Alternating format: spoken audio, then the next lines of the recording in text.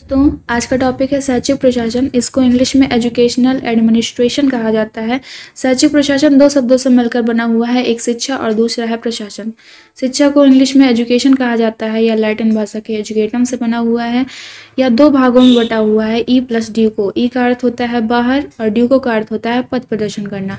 बालक की अंतर्निहित शक्तियों का विकास करना।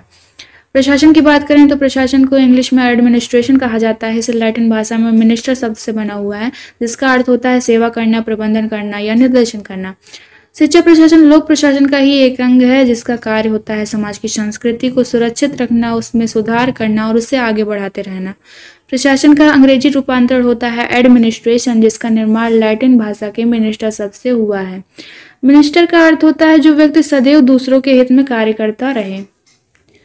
ब्रिटेनिका एनसाइक्लोपीडिया के अनुसार, उन्होंने कहा, एड प्लस मिनिस्टर, जिसका अर्थ होता है कार्यों का निष्पादन करना, अर्थात प्रबंधन करना। अब आते हैं शैक्षिक प्रशासन के अर्थ के बारे में जानने के लिए। शैक्षिक प्रशासन का अर्थ है कि शिक्षा विभाग के शासकीय नियंत्रण से लगाया जाता है इसका अर्थ। केंद्रीय सरकार, राज्य सरकार एवं स्थानीय निकायों के शिक्षा विभागों द्वारा शिक्षा प्रक्रिया पर जो भी नियंत्रण या नियमन लगाए जाते हैं उससे शिक्षा प्रशासन कहा जाता है। शैक्षिक प्रशासन का संबंध शिक्षा की योजना बनाना, उसको व्यवस्था करना, व्यवस्थित करना, पर्यवेक्षण आदि कार्य करने से होता है। यह प्रशासन छात्रों के व्यक्तित्व पर निर्माण पर अधिक प्रयास देता है। इसका उद्देश्य होता है निर्धारित लक्ष्यों की निर्धारित लक्ष्यों को प्राप्त करना होता है इसका उद्देश्य।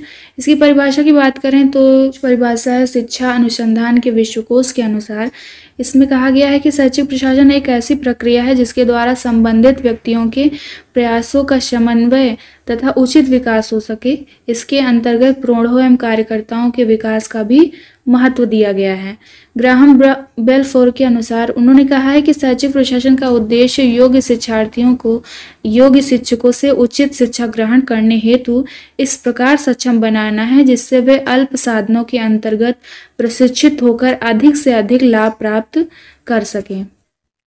फ्रॉक्स विश तथा रफनर के अनुसार, इन्होंने कहा कि शैक्षिक प्रशासन एक ऐसा सेवा करने वाली गतिविधि है, जिसके माध्यम से शैक्षिक प्रशासन के लक्ष्य प्रभावशाली ढंग से प्राप्त किए जाते हैं।